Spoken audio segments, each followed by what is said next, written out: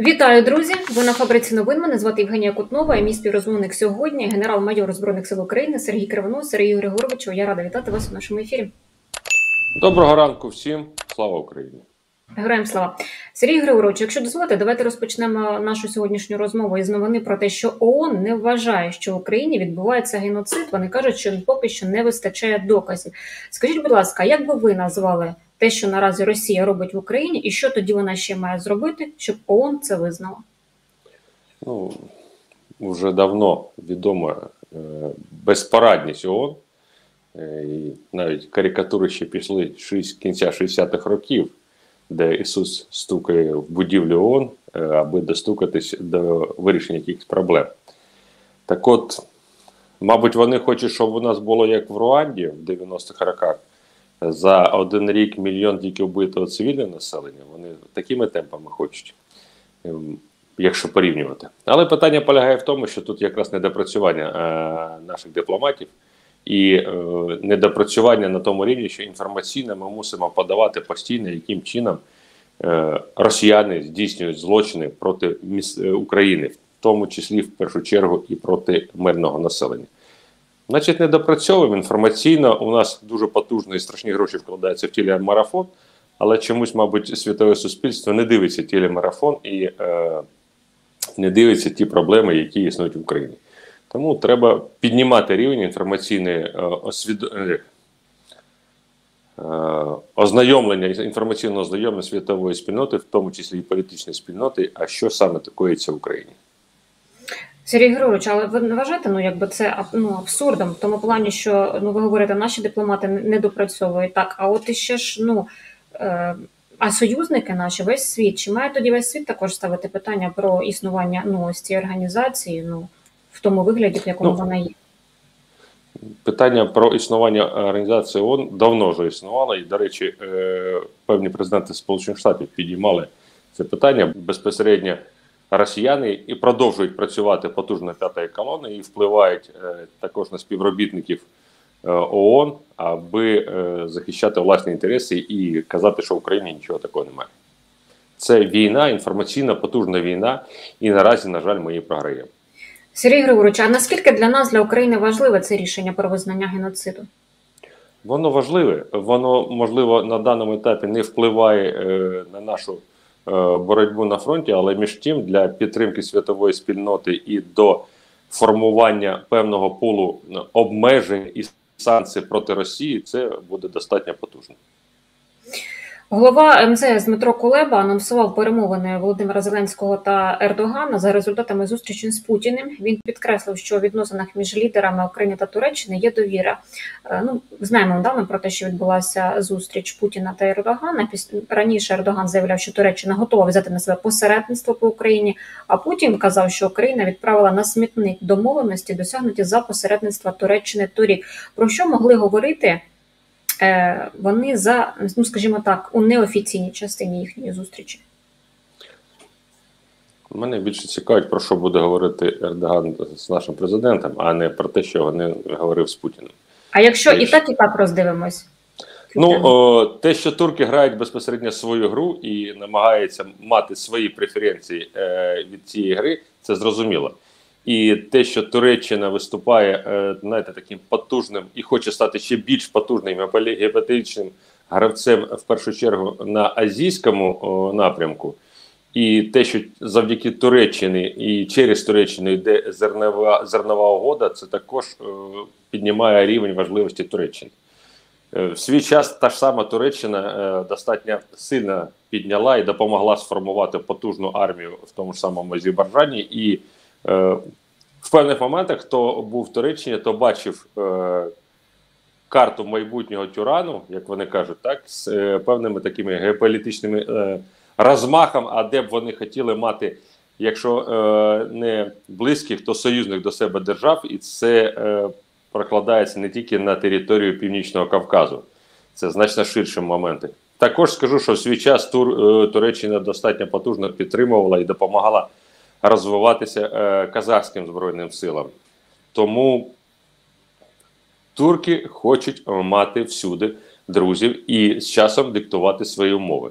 І е, дивлячись на те, як останні 30 років турки розвиваються, я бачу, що в них якраз це дуже добре створюється.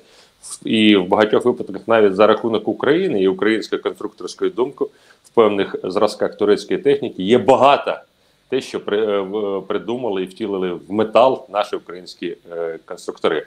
Але право власності належить туркам, бо вони за це платять гроші. Ми, маючи такі чудові мізки е, в нашій країні, не вкладаємо гроші, а в- хтось знаходить безпосередньо гроші і закупає наші мізки. Це для нас, якби е, знаєте, такі от безпосередньо приклад того, що треба цінувати те, що ми маємо, бо потім дуже важко буде відновлювати, якщо це ми втратимо.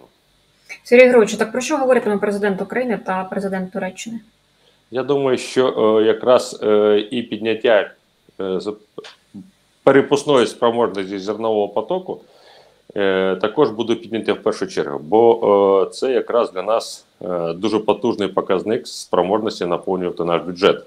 А нам важлива кожна копійка, і не просто кожна копійка, а кожна копійка правильно витрачена. Ну, останнє питання це зараз поки що достатньо проблематичне. Ми пам'ятаємо е, достатньо величезну кількість корупційних е, скандалів по закупівлі незрозумілих речей за страшенно шалені гроші. Тому для нас все одно е, те зерно, яке ми зібрали, перевоз через Чорне море значно поширює е, наші спроможності і зменшує ціну цього зерна, ніж ми б його возили через Європу. Скажіть, будь ласка, коли е, Ердоган називає Путіна дорогим другом, це така турецька дипломатія? Ну, це схід, тому е, там завжди тобі посміхаються, е, завжди тебе обіймають, завжди тобі раді, але питання після того, як закриваються за тобою двері, ми ж не знаємо про що говорять. Сергій Григорович, давайте також поговоримо. От ви сказали про корупційні скандали. Можливо, а може і напевно через це так е, міністра оборони Резнікова замінять на Рустема Умєрова.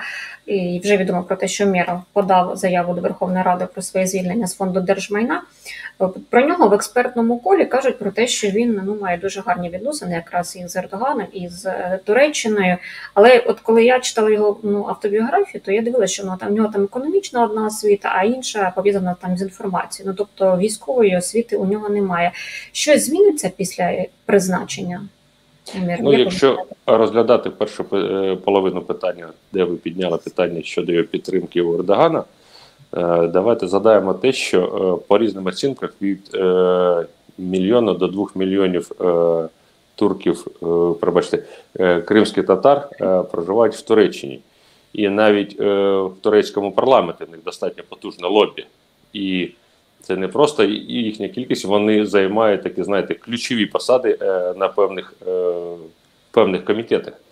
Тому однозначно це е, підвищить підтримку е, турецької сторони. Це якраз така, знаєте, е, по- чудова гра. А що стосується його освіти і що стосується безпосередньо його спроможностей, ну е, завжди. Е, було зрозуміло, що одна людина не може е, виправити ситуацію. Все залежить від команди і те, що ті, хто знаходяться е, навколо. В свій час один з заступників міністра оборони мені відповів, що йому чотири рази пропонували бути міністром оборони, але між тим він чотири рази відмовлявся. Запитав, чому каже, аби бути успішним, не просто бути міністром, аби бути успішним міністром оборони, те треба мати певну кількість друзів. Я говорю, хто це такі? І він каже: це президент, це голова Верховної Ради, це прем'єр-міністр, це е, міністр економіки і безпосередньо голова Служби безпеки України. Це мінімальне те коло друзів, е, яке б дозволить досягнути для Міністерства оборони е, успішного лобіювання інтересів Міністерства оборони. Тому я не знаю, які відносини у пана Уме- Умєрова з усіма всіма перерахованими посадовцями, але побачимо, час покаже. Е, Я б дуже хотів, щоб не повторилася ситуація, як це було е, ситуації в одеському борделі, коли ліжко поміняли, а дівчата залишились ті ж самі. А що от першочергово має, скажімо так, ну ви казали, виправити так, виправити новий міністр оборони? Ну, по-перше, е, величезна кількість його заступників це люди Єрмака, які безпосередньо е, відповідають і контролюють певні питання. І ті, хто були вже звільнені і е, безпосередньо вже були, знаєте, забруднені тими скандалами, які були попередні, Вони все одно залишились в Міністерстві оборони радниками. Тобто вони продовжували бути в темі е, цих питань. Тому побачимо, е, чи зможе він е, прибрати це лобі, е, тому що він просто людина, яка ставить підписи, а в певних моментах за його спиною. Е, можуть творитися певні речі, про які він навіть може не, здогадується. Якщо він влізе в всі нюанси, а для того це потрібно час і професіоналізм, можливо, тоді він не веде порядок. І треба розумітися, е, що це достатньо широке е, коло питань, в яких на яких треба розумітися.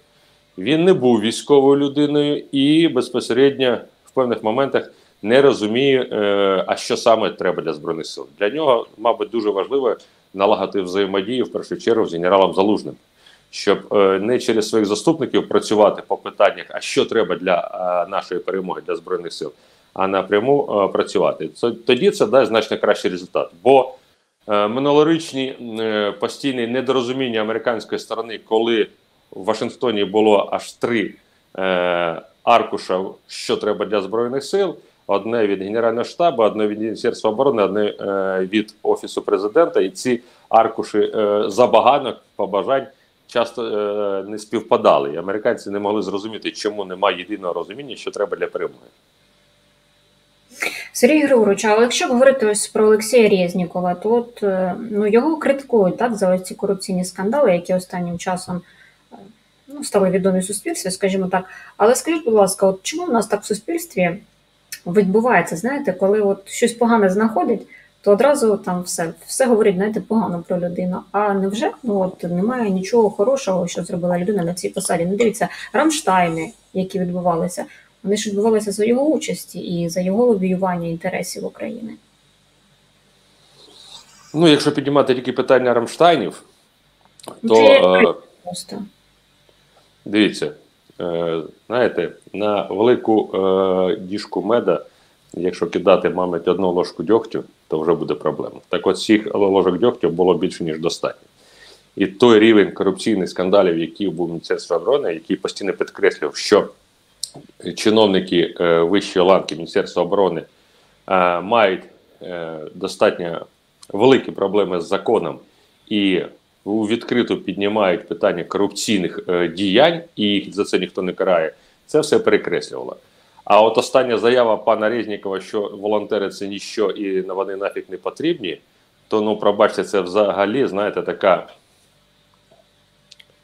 такий плівок в обличчя всьому українському народу, е, волонтерам. І якби ця людина там е, це підтверджувала не тільки голими цифрами, а нехай це скаже в окопах коли щодня і досі, і далі будуть возити волонтери величезну кількість, починаючи від е, речей е, постійного побутового користування, закінчуючи приборами нічного бачення, е, безпілотними літальними апаратами, засобами зв'язку, е, снайперськими гвинтівками, які також закупаються за гроші волонтерів, патронами.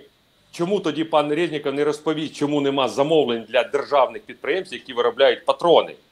а ми все одно завозимо патрони за кордону. Тому питання полягає в тому, що е, я достатньо критично і негативно відношусь до пара Резнікова, бо е, навіть своєю останньою заявою він там розповів, який він білий та пухнастий, а придивиться, що воно ж. Добре, Сергій Григорович, давайте рухатись далі нашим ефіром. Е, російські безпілотники опинилися на території Румунії. Так, Міністерство оборони сказали, що ця атака не являла собою ніякою загрозою. А чи мала, а якою тоді мала мала бути реакція Румунії, як ви вважаєте? Ну е, я не знаю. Це страх е, НАТО постійний, знаєте не дай Боже, щоб щось за сторони Росії порушило їхні державні кордони, вони намагаються зробити такий вигляд, що нічого не сталося, все добре, все чудово. Тому, е, звичайно, е, Румунія і каже, що все добре. Добре, тому що впало чи нікуди не попало. Тому на даному етапі добре. Це по-перше. По-друге, вони розглядають з варіанту, ну так, можливо, склалося. Можливо, склалося. Тому безпосередньо давайте розглянемо питання, що це було ненавмисно. Е, ну не хоче НАТО безпосередньо бути втягнутим офіційно е, в конфлікт е, взаємовідносин між НАТО і Росією. Вона не хоче приймати участь у російсько-українській війні. Знаєте, тому вони кажуть, все добре, все добре, нічого страшного не сталося. Ну, давайте нагадаємо, все ж таки, коли останній раз Європа так потужно воювала. Часи Другої світової війни, і давайте згадаємо, які країни безпосередньо воювали і яку кількість днів, а в певних моментах тижнів, а може місяців. Тому вся відповідь покладеться, що ніхто не хоче напередодні будь-яких там політи... А у нас дуже швидко і скоро будуть е, певні вибори в певних країнах Європи. Ніхто не хоче піднімати рівень загроз, підняття рівня загрози від Росії перед країнами НАТО. Тому вони, знаєте, зробили такий от джентльменський крок назад і сказали: ні ні ні все добре, це випадково. От якби воно впало в район е,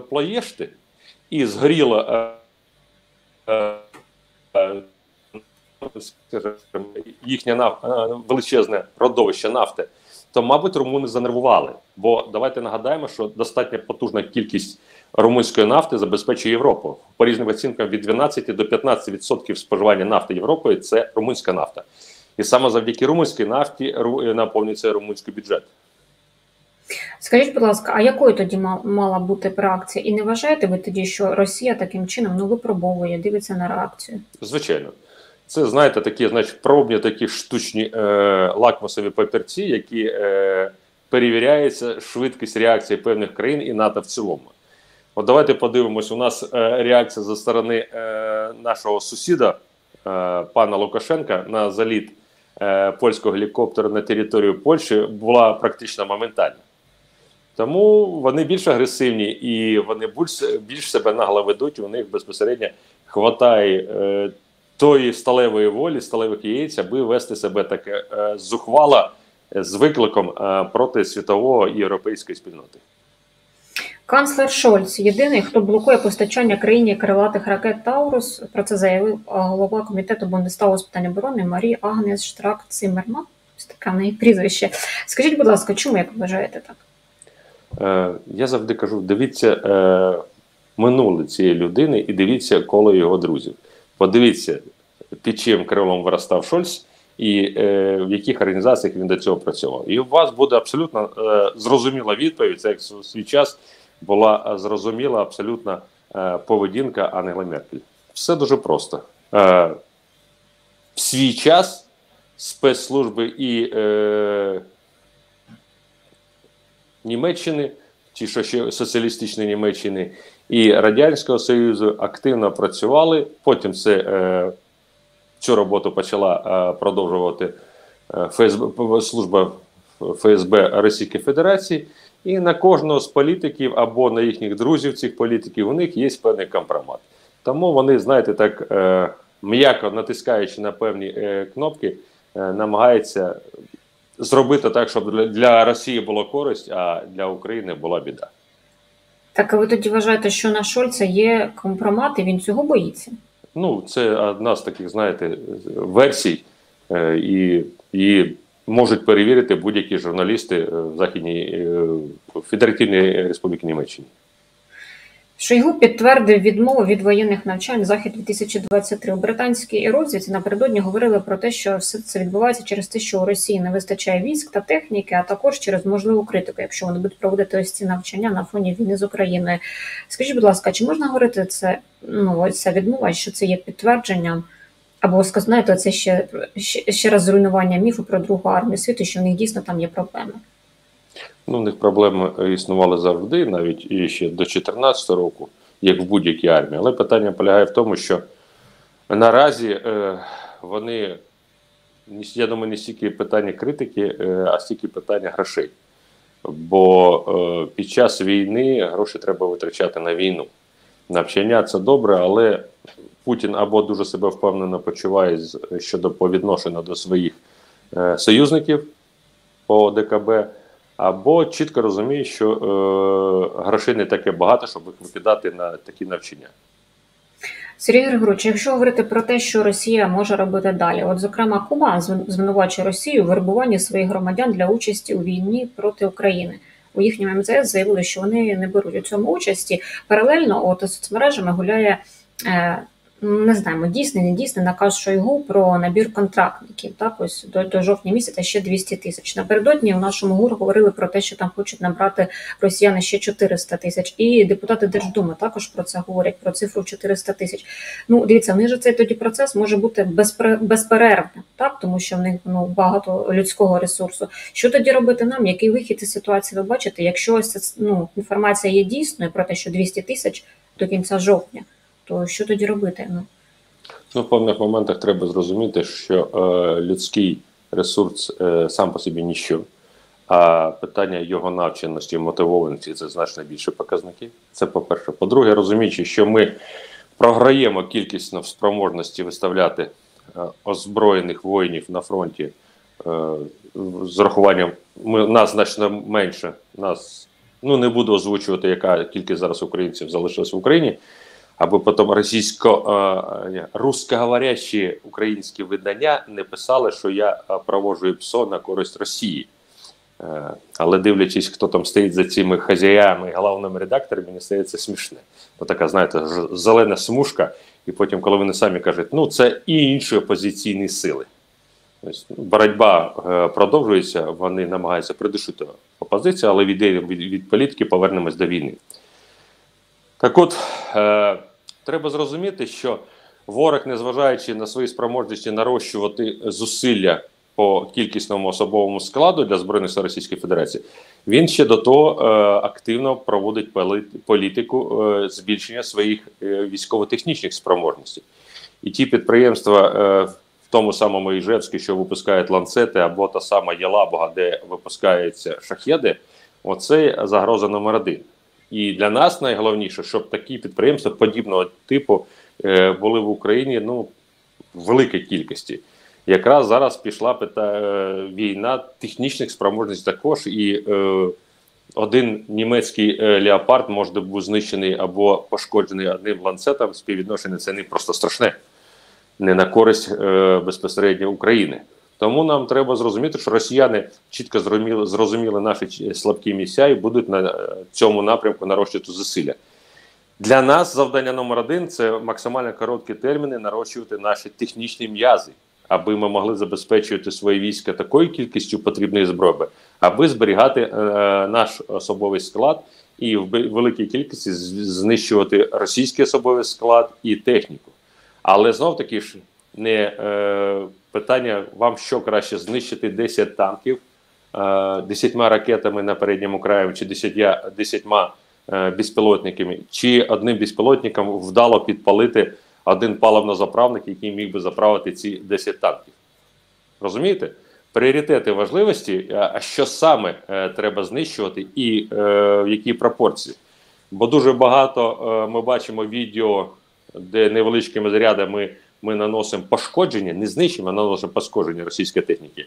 А от, мабуть, треба і нам також перевчатися і нарощувати нашу спроможність по знищенню цієї техніки. І в першу техніку, е, перші е, спроможність це знищувати засоби розвідки Російської Федерації, засоби РЕП, е, систему логістичного забезпечення, в тому числі і паливно-заправники, склади з боєприпасами і пункти управління. От це те, що е, керує цією потужною масою під назвою Російська армія.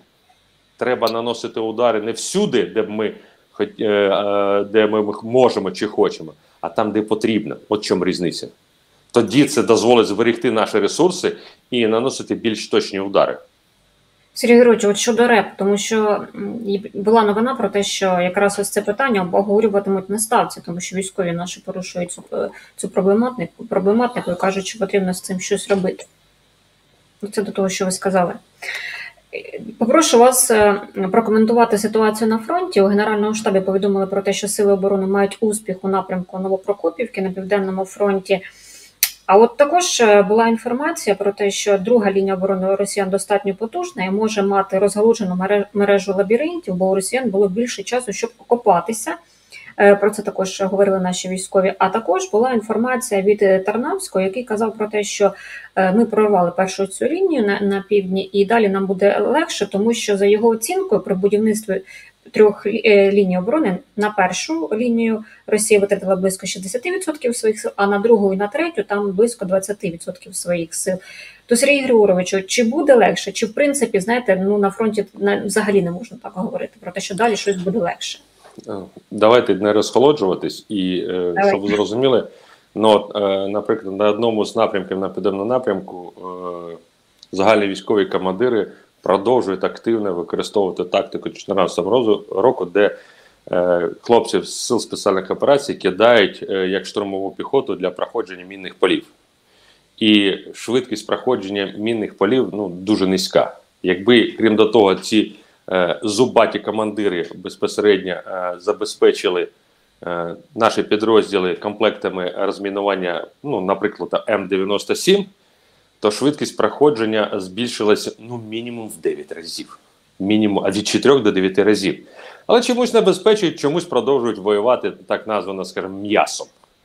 Тому якраз, е, якщо їхні сусіди значно більше і успішніше воюють, бо вони технічно використовують досягнення сучасної е, наукової думки наших американських колег, то ті значно в гіршому варіанті. Тому і такі от підходи. Хочемо досягнути швидкості, треба воювати не тільки м'ясом, а в першу чергу військовою е, спритністю і е, військовою смікалкою. Тоді це значно, знаєте, буде краще і давати значно кращі результати.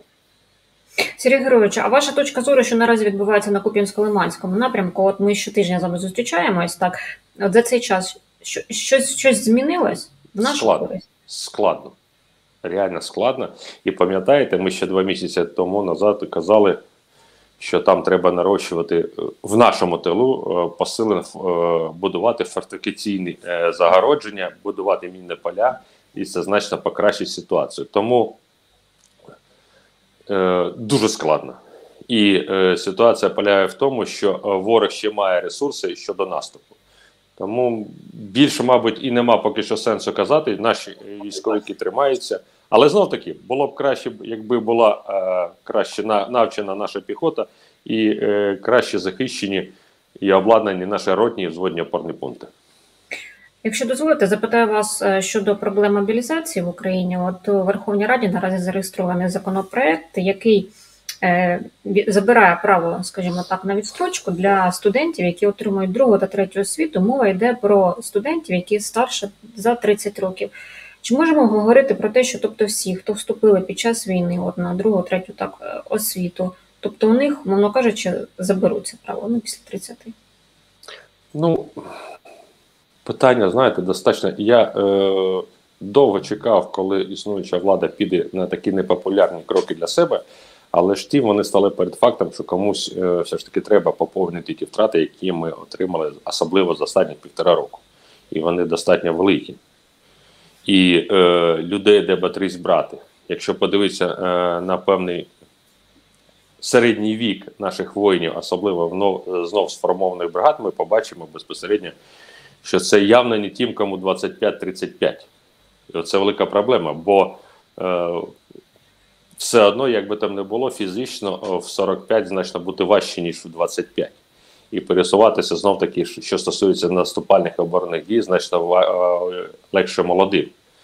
Навіть е, той, що старше, можливо, на певному ділянці він там може пробіжати достатньо успішно 100 метрів, але віддихуватися він буде значно довше, ніж той, що кому 25. Тому природу занадто важко обманути. І е, війна це справа тих, хто треновані, молоді і мотивовані. От у нас молоді є, вони ще не треновані і вони ще більше не мотивовані. От завдання держави було робити і тренувати, і мотивувати. Побачимо, як з цим справиться зараз держава. Так, тому що я, от коли готуюсь до нашого ефіру, я збираю знаєте, різні думки, і суспільство розділилося у цьому питанні. Хтось там говорить про те, що а чим вони краще, знаєте, вони таким чином ухиляються. Чому одним можна ухилятися, іншим не можна. Ну тобто така, знаєте, ем, різні Якби, думки, скажімо. якби з самого початку влада зайняла позицію, що всі громадяни України мусять захищати і бути готовими до захисту своєї країни, було б добре. Але влада намагалася притримати молодь, е, як знаєте, такий безпосередньо золотий запас ма- майбутньому, і після перемоги е, мати на цьому політичні преференції, сказавши, що от ми молодь зберегли, молодь голосуйте за нас, і так само за них би проголосували батьки цих молодих. Але ситуація склалась так, що все ж таки прийдеться воювати і тим, хто зараз е, намагається уникнути служби. Тому це якраз провал державної політики за останні 32 роки щодо підготовки навчених і мотивованих мобілізаційних ресурсів. От бачите, в Ізраїлі немає такої проблеми, бо там з самого народження е, вбивається, всмоктується навіть з молоком матері е, питання того, що е, ти мусиш захищати Україну, о, пробачте, Україну, країну, свою країну, і безпосередньо е, це питання, воно нікуди ти від нього не дінешся. Бо там розуміючи, що в тому колі оточення е, вороже налаштованих держав Ізраїль мусить е, мати і потужну військову техніку в потрібній кількості, і потужний оборонно-промисловий комплекс, і навчений мотивований мобілізаційний ресурс в величезній кількості. Сергій Григорович, а я от вас запитала, сказала, ну я зрозумію, що ви там помилилися. Ізраїль має захищати Україну. А що відбувається у наших відносинах із Ізраїлем? Ну, знаєте, е, мені б дуже не хотілося, е, щоб певні наші, особливо там е, експерти, переходили на питання е, антисемітського е, такого, знаєте, напрямку. От якраз справжні українці і е, відрізнялися тим, що е, вони були толерантні до будь-яких національностей всередині того суспільства, в якій вони проживають. А у нас певна поведінка певних е, наших е, і політиків, і коментаторів, і там блогерів. Інколи задаєш питання: люди, ви не навчені жити в світовому суспільстві, ви розповідаєте про життя в європейській спільноті, ви хочете вступити, але між тим е, від вас, знаєте, такої потужної ксенофобії е, попахує, ну це не дуже добре. Якщо ми хочемо е, бути в Європі, то мусимо навчитися бути толерантними і на цих речах, знаєте, не спільку, спекулювати. А що. А чи міг би Ізраїль більше допомагати Україні? А, а давайте відмотаємо трошки назад і подивимося, а в яких питаннях Україна себе не зовсім толерантно вела, що стосується питань Ізраїлю, особливо що стосується питань певних голосувань за певні питання. Ми отримуємо те, е, чим свій час платили е, по відношенню до Ізраїля. Сергій Григоровичу, і традиційно підготувала для вас три бліц запитання на завершення нашої розмови, якщо дозволите, будь ласка. Перше питання: чи можлива критика влади під час війни? Абсолютно можливо. І знов таки ж е, це стосується питань е, російськомовних українських сайтів з їхніми прозеленими хазяями і головними редакторами. Можливо, бо якби влада робила висновки з власних помилок, можливо, критикувати було менше. Але з урахуванням їхньої бездарності, непрофесійності, ми платимо ціною величезної людських життів, то ми мусимо критикувати. Ну і це питання якраз демократичного суспільства. А як ви ставитесь до тієї тези, що потрібно критикувати, але тільки після війни, бо зараз це роз'єднує суспільство? О, давайте, щоб е, після війни треба буде займатися зовсім іншими питаннями, а не критикою. Тоді треба буде відбудовувати. А питання після війни це може перерости просто, знаєте, в гризню, а хто там більше воював чи не більше воював.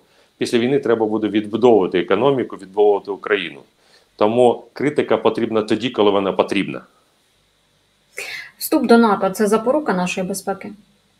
Е, сильна, незалежна, спроможна і економічно, в першу чергу, сильна Україна це запорука нашої безпеки. А НАТО це один з компонентів цієї безпеки. Коли може закінчитися війна в Україні?